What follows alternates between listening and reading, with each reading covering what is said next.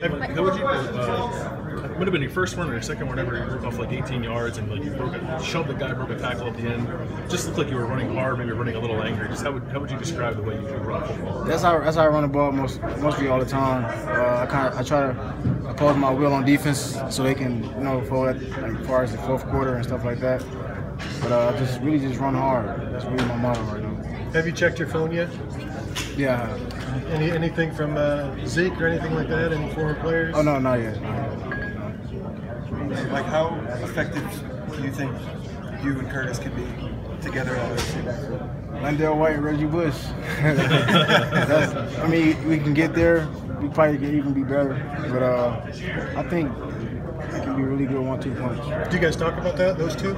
We do sometimes. We kind of laugh it off though. But uh, a lot of people do know that it can be that way. Are you okay being LenDale in that situation?